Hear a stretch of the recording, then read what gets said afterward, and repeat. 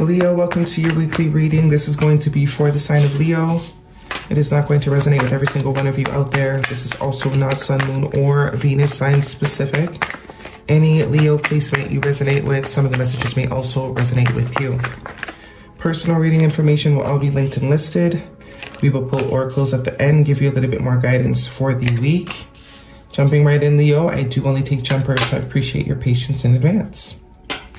Your first card out this week is the Queen of Swords, air sign energy. Gemini, Libra, Aquarius could be important, could have that in your chart. We have the Three of Cups, the Fool card, Major Arcana, the Emperor, Aries energy could also be important. Some of you got something to say to your boss. And I think it's time you say it. You either have recently said something or there's some sort of need to take a chance on either saying something to some sort of authoritative figure here with the Emperor. Whether it's a boss, whether it's your dad, whether it's your man, your brother, whoever it is, something needs to be said. A truth needs to be spoken. Queen of Swords is all about truth. It's all about clarity. It's all about communication. And with, you know, she's open to communicating. She's open to communication. Three of Swords. Ooh, that's a lot. The Moon card, Major Arcana, the Three of Swords, the Knight of Cups, Major Arcana, the High Priestess, and the Hierophant, Pisces and Taurus energy, heavy on the Pisces. Bottom of the deck is the Ace of Swords. Mm -hmm, truth. Definitely, this is all about truth. Something needs to be spoken here. There's a truth that needs to be spoken. I know if you're holding back, especially with the High Priestess here.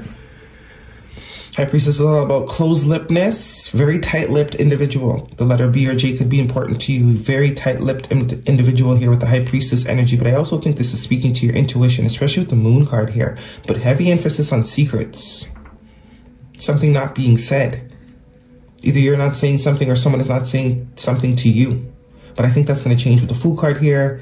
In your future energy, this is saying someone's going to take the take, take the chance and I think express what needs to be expressed. For some of you, this could be a friend that needs to express that has something, you know, especially if this is romance, there could be someone in your friend circle that is not telling you how much they really care because the moon card is all about emotions as well. That rules how we feel about things and it's like hidden emotion also fear. It's like I'm hiding my emotions because I'm afraid how you're gonna react, or I'm afraid how it's gonna what it's gonna mean, or or this could be happening around holiday season with the Three of Cups. Also, two threes here, three, three, 33 could be important to you. And you have three major arcana. So heavy emphasis on the three energy for you. Taurus energy, yeah, some sort of commitment. It's like someone's in love with you and they haven't been telling you this up until now, or they haven't been telling you that they really want to commit to you. The King of Cups is all about someone with deep emotion, usually unexpressed, but all, with all this secretive energy here. But I think you already know. I think you have some sort of inkling that this person um, is not just wanting to be your friend. Or if this is someone you're dating, I think you kind of get the vibe that this person um, sees a future with you, but they have not said it yet but very much feeling it um, energetically. But it's only a matter of time because the Emperor is all about taking action. It's all about taking action. And it does seem like it's this Emperor that's afraid to be hurt. With the Moon card and the Three of Swords, someone is afraid to be hurt if they express something. They're afraid it, they're afraid it won't be reciprocated, but they're gonna take the chance anyways to do it because it's the truth and it needs to be said. By not saying it, the chance has this situation has no chance of um progress with the Five of Swords there. If it's not said, there's definitely no chance of progress. So if the, the fear is no progress or being rejected, either way, if nothing is said, there will be no progress. Transformation with the Death card, Scorpio energy. Yeah, communication, Eight of Wands.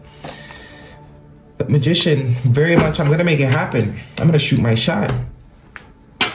For some of you, could be a boss that wants to, you know, they're not sure that you want to move up in the company and they're like, okay, I'm going to shoot my shot anyway because I think this person would be great for the position.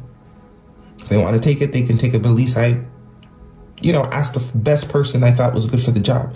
But this is more so leaning towards some sort of connection you have with somebody, some sort of secret feelings here that's not being expressed. And I do think it's feelings of love. I do think it's feelings of, um, you know, wanting to spend a long time in some sort of connection, especially with that five energy of the Hierophant.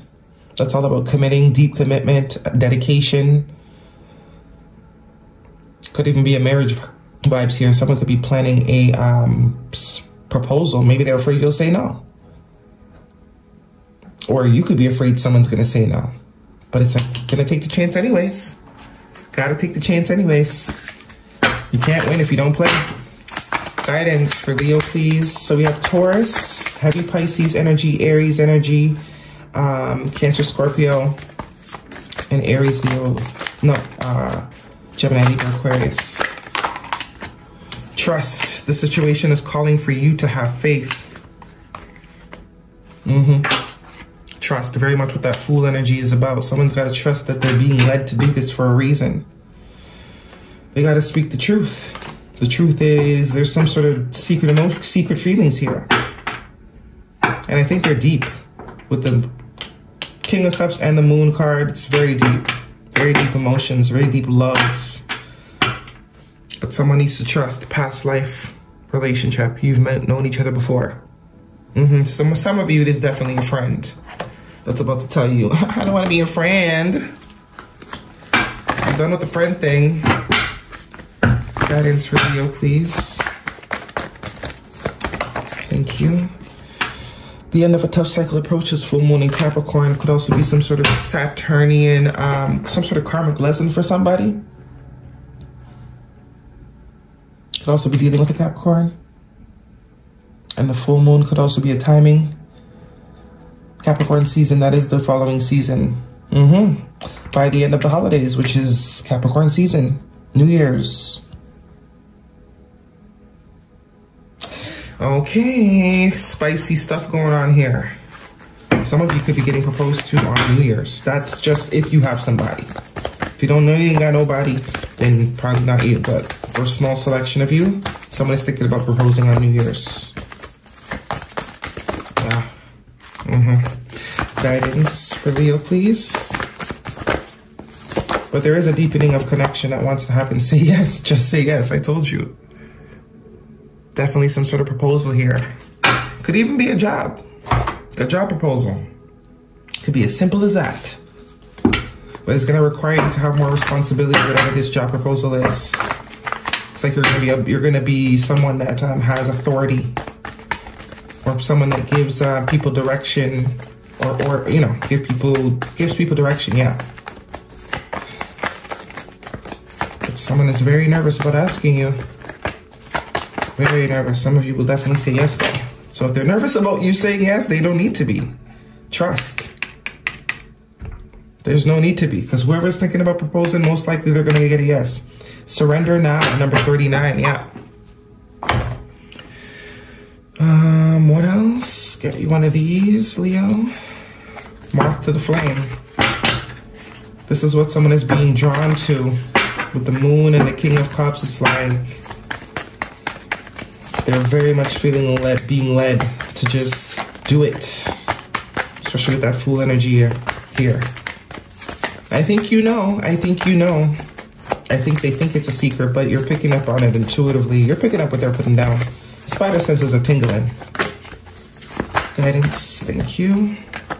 Your best is more than enough, I promise. Yeah, someone has a very, um, they're very hard on themselves. A lot of self-doubt.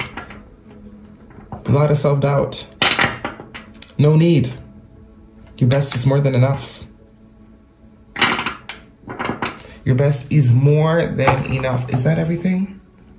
I believe so. Okay, Leo, that is your reading. Hopefully it resonates with you. Thumbs me up. Do not forget to subscribe. I'll see you guys next week.